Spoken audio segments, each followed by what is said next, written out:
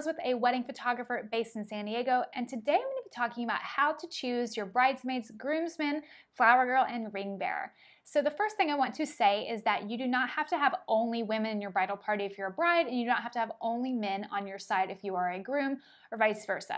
I fully believe that you should have the people you love, and if that includes men and women, then have them both. I had two bridesmaids and one bridesman, and it was incredible. And I can't have imagined my wedding day without my friend Chris in my bridal party. So it was incredible to have. I do have my cat Kudzu here with me, so she's making an appearance. Oh, and she's gonna lay over my arm. This is her favorite thing to do.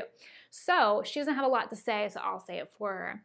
When it comes to actually choosing these specific people in your bridal party, Choose the people who you love and you can't imagine your wedding day without. You're going to be spending the most time with people in your bridal party, so please do not feel pressure to include people that you really don't want there but feel like you have to have them. So, for example, I know someone who's like, oh, I've got to put my two cousins in here. My mom thinks I should. You don't have to do that. If you aren't that close with them, don't put them in your bridal party simply because they're family.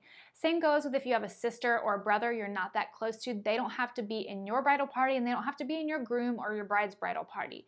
So I fully believe that you should only have the people that you truly care about in the way that you want them there your entire wedding day with you. You still love the other people, but they don't have to be in your bridal party. Now, same thing sort of goes for flower girl and ring bearer. Just because so and so has kids doesn't mean you have to choose them. If you don't even want kids at your wedding, don't have the flower girl or ring bearer. Or if you don't want the kids at the reception, have a pair for the ceremony and then send them home afterwards. That's completely fine and acceptable to do. It's your wedding. You can do it the way that you want to. Now, I will say don't let anybody shame you or pressure you into adding people, whether it's the people themselves requesting to be in the bridal party or somebody else saying you should put this person in or you should put that person in because X, Y, and Z.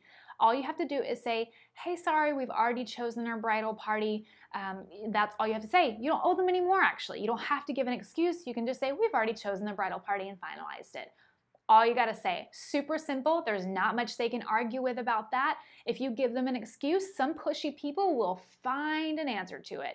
If you say, oh, we already have, um, I don't know, too many people, it's getting expensive, a person might say, oh, well, I can pay for this and that. So people will weasel themselves in. If they're pushing people, do not let them. Don't give an excuse, just say, we've already finalized it.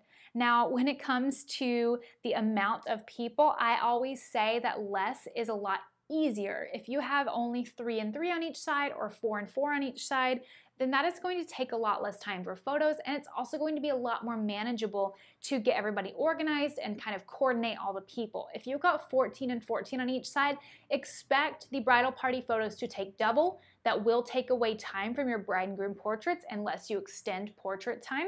But also just know that the more you have, the harder it is. If you want a thousand people in your bridal party, do it. Just know that it does come with consequences, whether that's good or bad for you. So that is pretty much it. I am going to be trying to do maybe only two videos a week for the next couple of weeks because I have a lot of really fun travel trips. I am going to be working in San Francisco. Maybe by the time this video is posted, I'll be back, but I am going to be doing really fun engagements up there. I'm going to be going to Europe later this June, which I'm very excited about. So I've got a lot of things coming up where things are getting pretty busy. I've also recently become a writer for Style Me Pretty, which is very exciting. So you can go check out my articles there. I will link them down below. So I've got a lot going on, so I might drop down to two videos a week that I'm now starting to run out of ideas. So I would really love it if you guys could ask a question or suggest a video idea in the comments below because there's only so many things in my head at a given moment. Sometimes I need a little bit of inspiration to make videos on. So if you guys did enjoy this video, please be sure to leave a like and I'll see you guys next time. Bye!